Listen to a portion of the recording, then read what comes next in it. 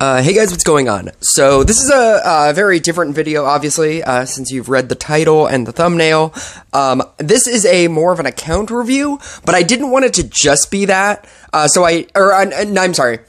Um, this is me talking about why Necromancer, but I didn't want it to just be that. So this is also kind of an account review.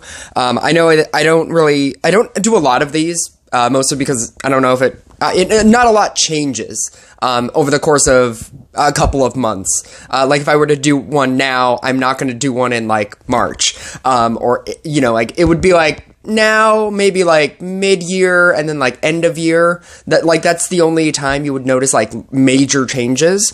Um, and it would actually kind of matter. Or else it would always just be like yep i still have all of my maxed out commons epics and rares. Um, but uh, I I didn't want to just talk about Necromancer, um, but I did want to also t- talk about Necromancer, and then uh, I wanted to do something else, and uh, that ended up being I was like I, I should do an account review.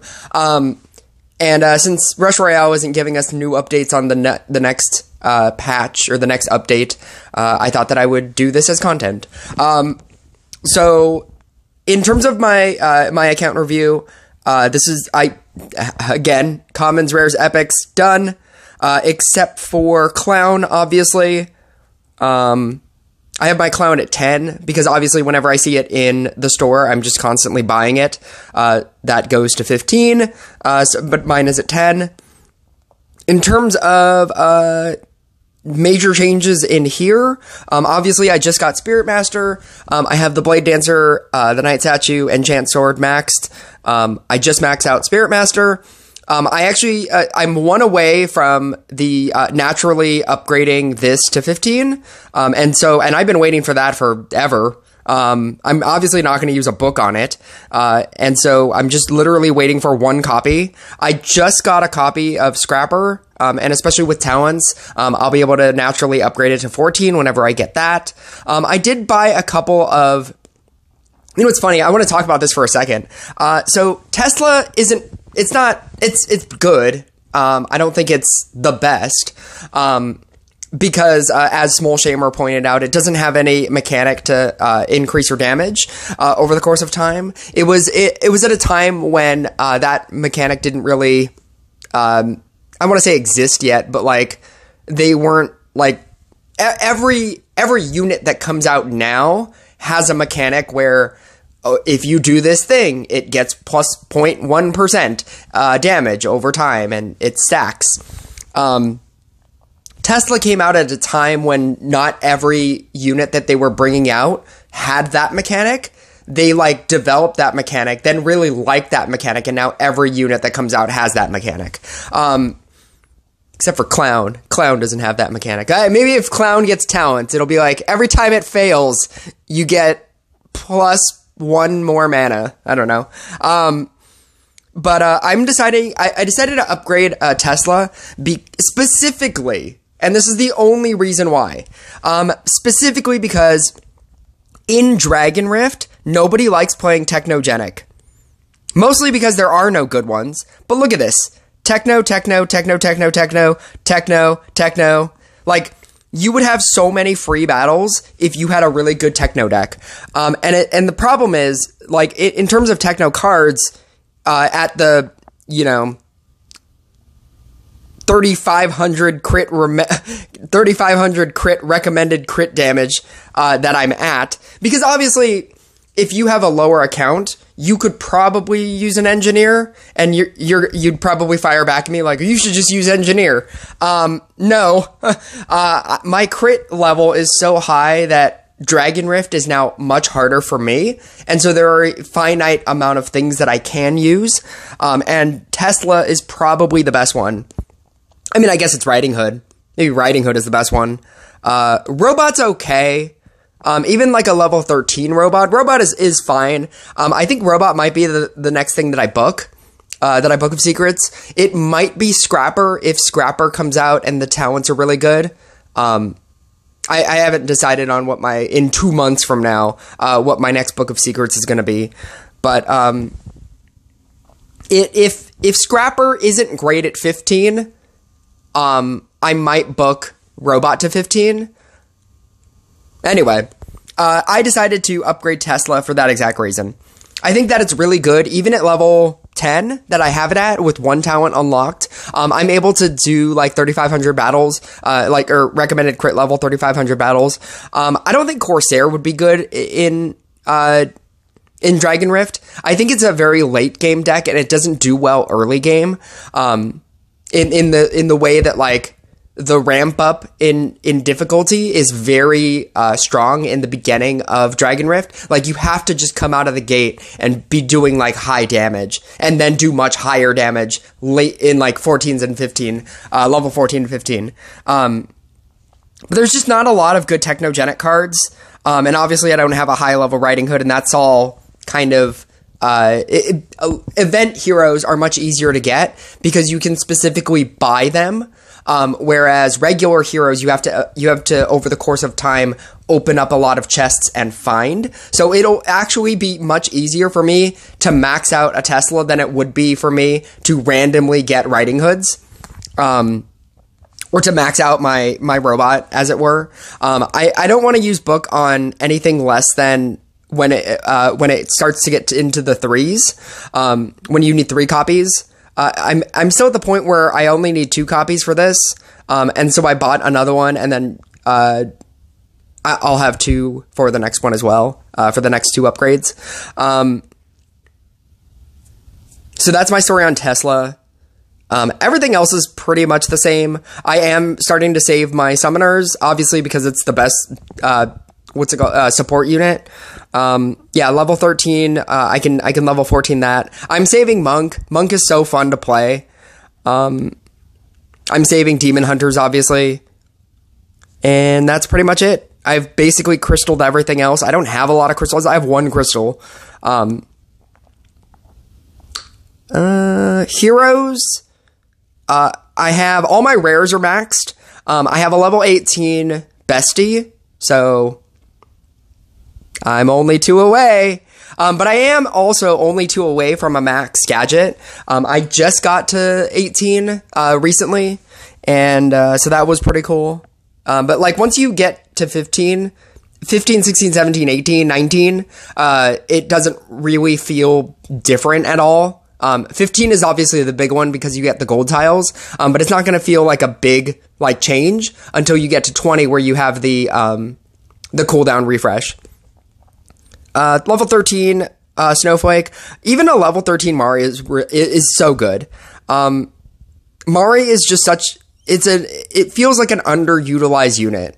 Um, the fact that it does infinite damage uh, forever and the fact that if you push into like really late game bosses and you you use a Mari on your uh, on your opponent, they start to feel like bosses. So like you're just giving your opponent a fourth boss.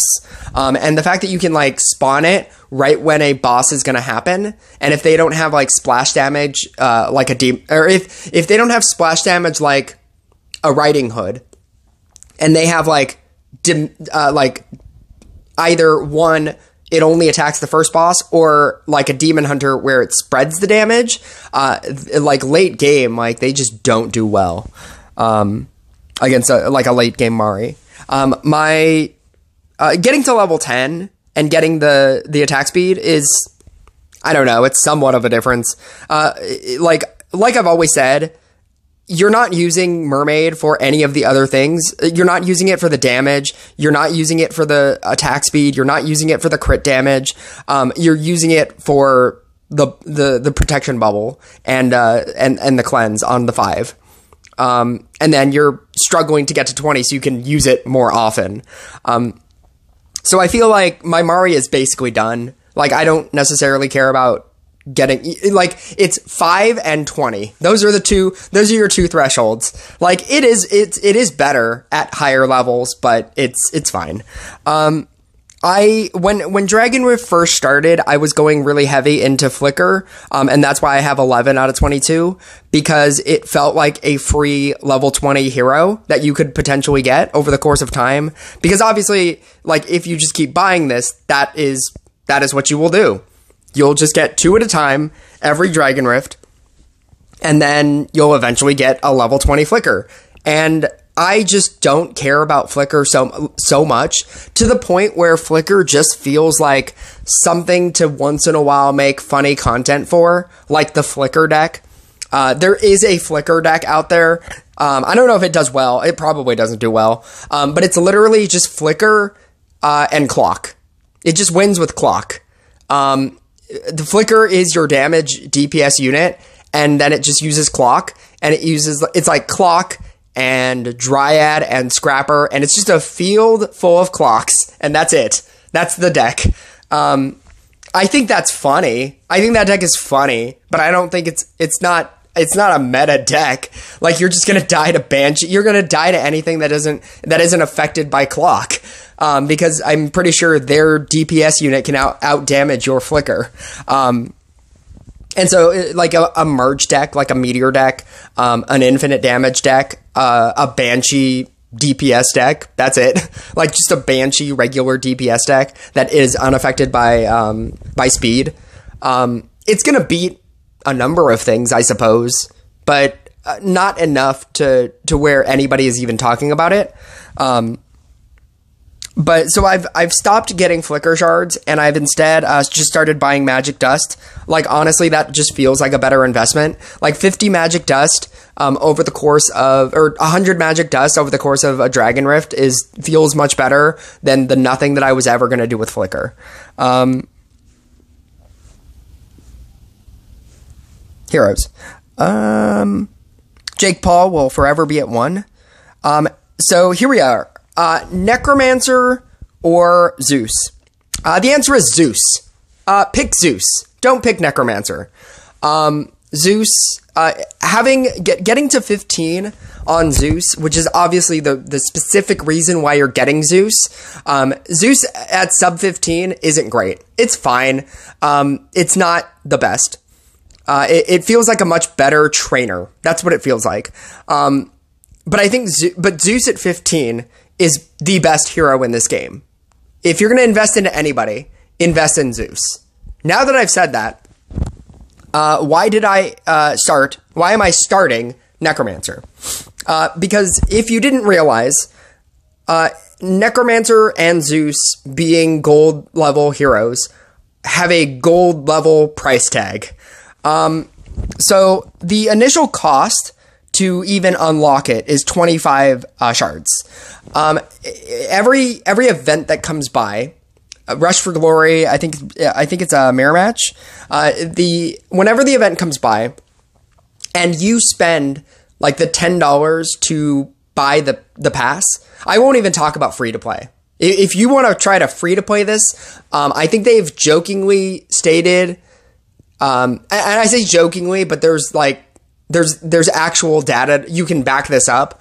I want to say it's 33 years, 33 or 35 years um, for you to max out a a gold hero if you were fr- completely free to play. I think it would take you and you you finished everything. You fin you got all of the maximum amount uh, per event. It would take you something between like something in the area of like 35 to 40 years, something in that area, if you were going to try to free to play it. Um, so, assuming that you're not trying to free to play it, um, the thing about the, uh, the thing about uh, the the gold heroes, uh, Zeus and Necromancer, um, it's that every so the initial investment is 25 shards. Um, every if you buy the pass and you had zero tokens, you get 1800 coins over the course of that event. But to buy the gold hero, it's 2000 and you get four shards. You can start doing the math. Um, after your initial investment of $10 to get nothing, obviously in the next one you will have um, you will have enough to get it and more. So you will you will you will in the second one you'll have it. Uh, you'll be able to get the four shards, even though the first ten dollars that you just spent you got nothing. In the second ten dollars, you now have four and then you have more tokens so that in the next one, you will still have it. But you're always coming in at a loss, essentially, because it's 1800 per event, but it costs 2000 for the thing, right? So if you want to math this out, you need at least seven events. Four times seven, right? Uh, is 28. Uh, so you'll have a little bit more than you need. And then, or I guess you could, what is it? Um, yeah, because four times six is 24. You would need at least, se- no, because seven would be the equivalent. You'd need at least like eight events in order to even just unlock um, one of these heroes. Um, and that's like $80. That's already like j- just out of the gate. That's eight events and that's like $80, right? Um, and now you've just unlocked it. But once you unlock it, now um, all of the requ- requirements are much smaller. So to go from one to two, it, it costs five. Um, and there's a chart that A Friend Gaming has, and this was the thing that made me want to invest in this. Um, that that felt that this was an okay investment. Uh, just in terms of like how much money is this going to cost? Uh, one, I don't really think about the money, mostly because this this because you could like add all of this up and be like, you spent eighty dollars, and yeah, I did. Um, but over the course of eight months of eighty dollars, like you can do that with anything if you want in your life. Like if you go to the same um, coffee store, right? People always do this with, with like a cup of coffee, right? Um, or something. I don't know, like an energy drink. Um, and it costs two fifty. That means if you go there twice, that's five dollars, and if you go there four times, that's ten dollars, right? And that doesn't seem like a like a like a, a difficult investment, but then if you were to add that money over the course of a year or something, and you came up with some large number and you're like, oh, you're spending this on energy drinks. It's like, yeah, but you never really think about it because what's 250 a day? Um, and over the course of time, maybe, yeah, you can add up all of it and it sounds like some large number, but you could do that with anything. Like gas. Like if you spend $30 in gas for a week, that's, uh, what is that? Um, $120 a month. Isn't that a crazy number? Or, yeah, $120 a month if you were doing $30 in gas a, a week, are you going to not drive a car? It's like, but you don't think about it like that. You, you think about it like this is just kind of what you like doing. Uh, you like driving a car and this is the cost that it is. And you just, you just kind of do it. Um, so in terms of money investment, uh, this is why I'm able to not think of this that terribly, even though yes, it is a lot of investment. Um, a $10 investment per month is not a lot to me. And and so like I'm able to just justify it like that. So that's my money investment c- commitment thing um, on why I even wanted to invest in either Necromancer or uh, Zeus. Um, but here's the other thing: why Necromancer and not Zeus? Um, if I if I think that Zeus is the better hero, because what deck doesn't want to upgrade a unit uh, or four units. I, I, I can't remember how many tiles it gets. I think it gets uh, four tiles. Um, but what uh, what is it? Four tiles? Now I want to know. Charges up to two random tiles. Maybe it's four tiles with the uh, with the uh, what's it called the the heroic item. Um, but what what deck doesn't want to upgrade uh, upgrade their units for free? just just on a just on a hero activation. Like what deck doesn't want to do that? Uh, somebody's gonna inevitably uh, write that deck in the comments, and uh, good for you. Congratulations, you found the one deck. Uh, now that I've said that, somebody's gonna write two decks in the comments. So uh, good for you. You you found two decks. Um, but uh, what deck doesn't want to upgrade, you know, units for free on hero activation? um, and do all of the other things that Zeus does. Every deck, every deck wants to do that, and that is the better deck. Um, it is it is very definitively the better hero uh, to get if you were going to invest into one of them, right? Um, because investing into both at the same time would just cost an astronomical amount of money. That like that amount of money is beyond me. Like I might do it afterwards, but trying to invest $20 every like every month um, or like just all all the time every time that the, these events cycle back um, that would that amount of money starts to go beyond my price range. Um, and that's where like I, I i would be like you know what? Maybe i don't have this amount of money right now. Um, but maybe if i were to max out a necromancer and I, now i just have like all right well now i have free money um, maybe then i'll start zeus zeus is the better hero but why did i choose necromancer necromancer i feel uh, for two reasons. Um, and you can go back to a video that I did when they were changing the Necromancer talents. Um, I think that Necromancer is a very unique hero um, in the sense that there are some decks, toxic decks obviously, uh, that only specifically work because of Necromancer. Um, any toxic deck that exists, like a Sea Dog, Frost, Harlequin, uh, Minotaur, you know, uh, Shaman deck, right? you need Necromancer. I guess that's a deck that wouldn't benefit from a Zeus. Uh, like you can't you can't do. I mean, like you could run Snowflake, but like Snowflake is like considerably worse than the insta kill tiles that you would get off of Necromancer. Um, the the auto shutdown of the edge units, um, making forcing your opponent to play differently. Um, fun fact: if you if you want the best counter to to necromancer decks, cultist. I never even realized it until I played a couple of games with Necromancer, and it was so fun freezing out like the edges. Um, and then I played against a cultist deck, and I was like, oh my god, they don't use the edges. Um, they like almost very specifically don't use the edges. Um, but yeah, it forces your opponent to play differently. Um, and when you mix this with like witch tiles, um, a, a, witch tile and then weakness tiles, because um, you're obviously going to run amulet of weakness with this kind of deck, um, it forces your opponent to play differently. And and then, it, but uh, and like there are some decks like the toxic decks that only work because you have necromancer. Um, and if it, and even just that that makes me want to get Necromancer over Zeus because I will be able to make content for a wider range of like content things. For for like once I max out a Frost, once I max out like I'm trying to think like investing in a Necromancer or a Zeus, you're thinking about what is my game going to look like 5 years from now? Like what what what am I what is my entire like deck?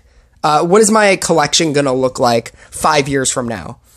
um, once I max out like all of these all of these things, um, what kind of content am I making?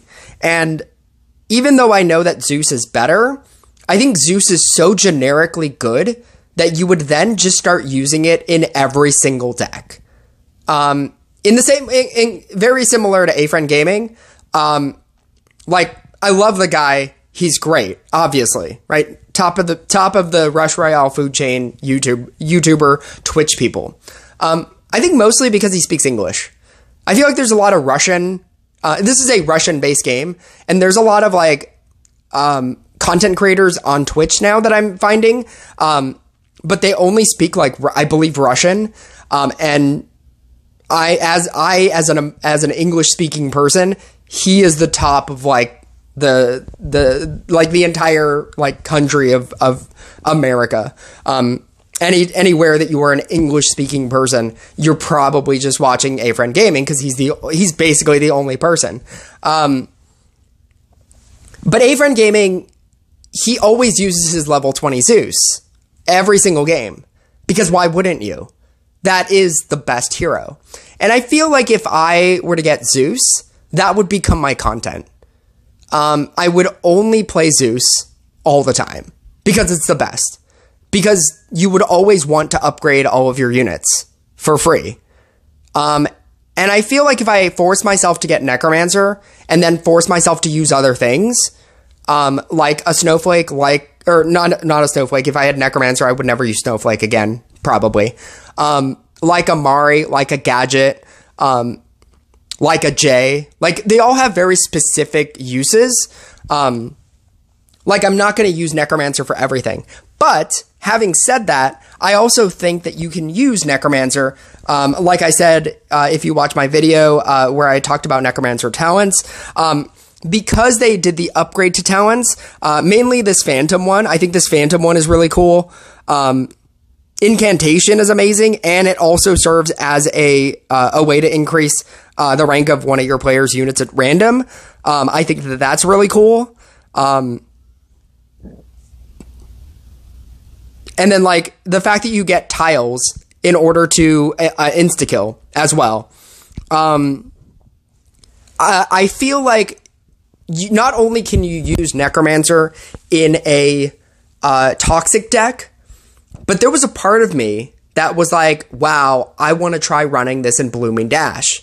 Like if you had two tiles and they were insta kill tiles and they were like you summon phantoms to attack your uh, to to attack bosses and deal damage based on the the stacks that you're getting from those tiles whenever you insta kill that's crazy. And then having a toxic element where you can lock them out of using their hero power um, during boss rounds. Like that's amazing. All of this sounds amazing. So it when they changed it from not just being a toxic hero to being a, a thing that you could theoretically put in a DPS deck, it just made me really, really interested in how that how that works.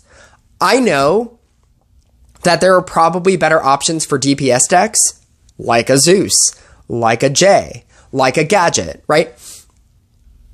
And that's why you never see like DPS decks with Necromancer. I wanted to be the person that wants to try that. Like I really actively want to like run a Blooming Dash Blade Dancer deck with a Necromancer or Spirit Master with a Necromancer. Um, I, I just think that that's so interesting and it opens you up to a wider range of like, I want to see if this deck works with this hero as opposed to I have this hero, Zeus, I'm going to use this for every single deck that I ever make from now until I, I stop playing this game. Um, because I think that that's what Zeus what does for you. I, and that's why I say, for you, a person that doesn't make content or care what other people think, you should get Zeus. Get Zeus and never look back. Just invest all of your money into maxing out a Zeus, and every single game that you ever play from that point on will be better than the or as good as it possibly can be. But for me, as a content creator that wants to make interesting videos and wants to make interesting things, I think getting Zeus would would make me just want to play Zeus all the time. Um, but forcing myself to get Necromancer will force me to make interesting content. And it'll force me to want to max out a, a Frost um, or a Sea Dog, things that I wouldn't normally care about. Um, and and and in maxing those out, that will also um, force me to make other different kind of content, um, as opposed to a Zeus. But anyway, uh, that's my account review. Um, the really quickly, these are my um, equipments. Um, you can screenshot that if you want. Uh, but that's basically all my equipment. I uh, I splurged on the the spear. I just decided to upgrade it. Um, I feel like because it has forest faction, that was good enough. Even though the uh, the faction uh, bonus is not forest faction, and that's what was bothering me for the longest time. Um, I am. Uh, trying to go uh, upgrading uh, my legendaries uh, for my amulet of weakness and my mage robes.